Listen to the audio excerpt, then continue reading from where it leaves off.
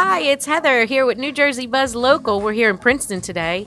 Today we're at Roots Ocean Prime. I'm here today with Kyle, and Kyle's going to tell you a little bit about it. Kyle? We're happy to be down here in Princeton. Uh, just uh, opened up in October. Uh, we're part of Harvest Restaurant Group, and uh, we currently have um, uh, four Roots Steakhouse. We came down here and we opened up, and added some seafood to our menu. Um, we are part of uh, Harvest Restaurants, which is also has the Dinky Restaurant right next door to us, and Agricola, which is located on Witherspoon Street. I read that you have um, food that comes in locally. Can you tell us about that since we're New Jersey Buzz Local?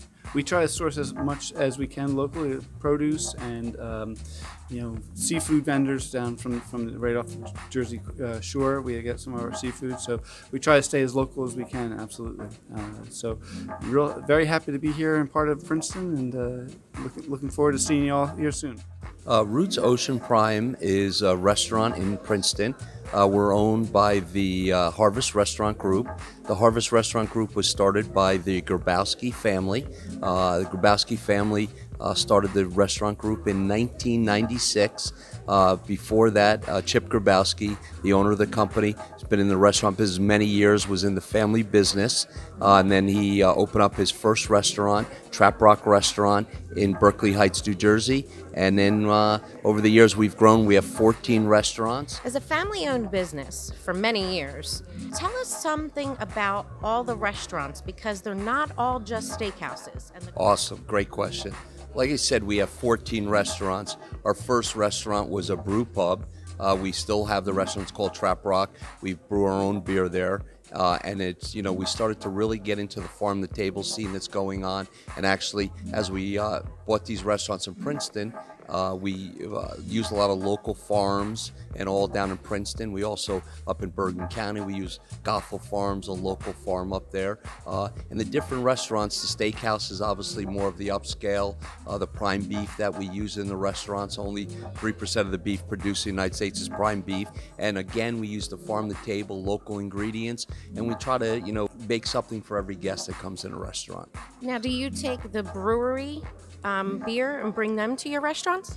Well, uh, yes and no. Uh, we take the recipe, uh, but the way the laws are in New Jersey, somebody else produces that same recipe and then they distribute to the restaurants. We're actually working on a license right now so we can self distribute, uh, but the beer is great. We have it in all our restaurants. Uh, it's Trap Rock, it's called Hathor Red, Ghost Pony, and people love the beer.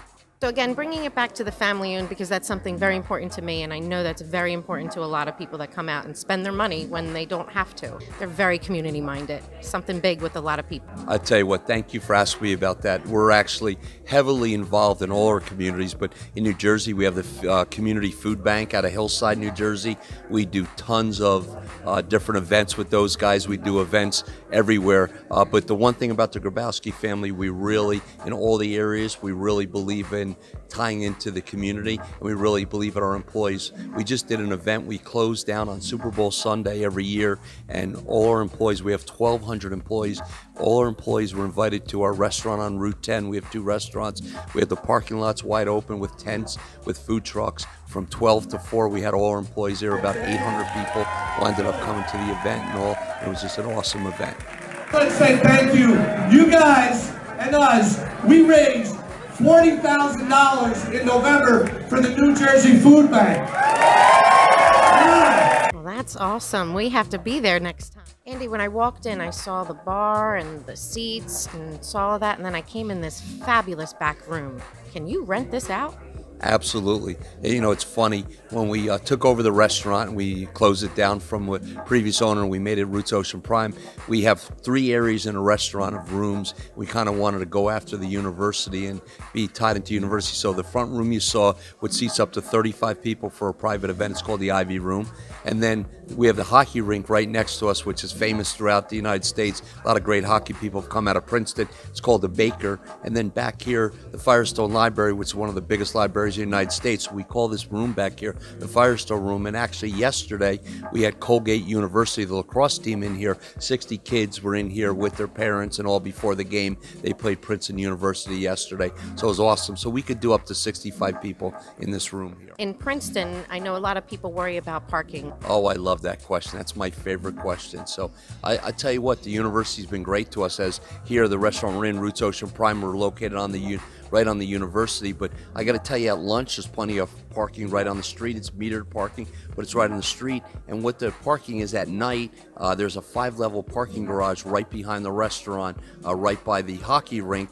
And after 5 p.m., anybody could park in that uh, location. And on the weekends, everybody could park in there. So you go five o'clock at night, and then Saturday and Sunday all day long, and it's free. And the university does a great job in letting everybody park there.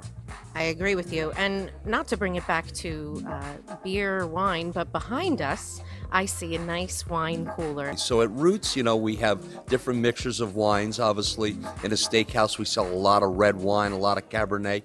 There's about twenty-five, thirty thousand dollars worth of wine back here. We've got Meritages. Uh, we've got some great French wine. We've got some great Italian wines, and like I said, we've got some great Cabernets. And it, you know, we have bottles inexpensive as forty-five dollars, and we have wines that we sell up to thousand dollars a bottle. So we have all different ranges of wines for all different types of folks. That's wonderful. So I guess Andy's telling us he's giving us a thousand dollar bottle of wine today, huh? Absolutely. For you guys, the best. Well, we thank you so much for taking the time with us because you're a great restaurant in the local area, and Princeton is a great area. Come and check them out. Dine, shop, play local.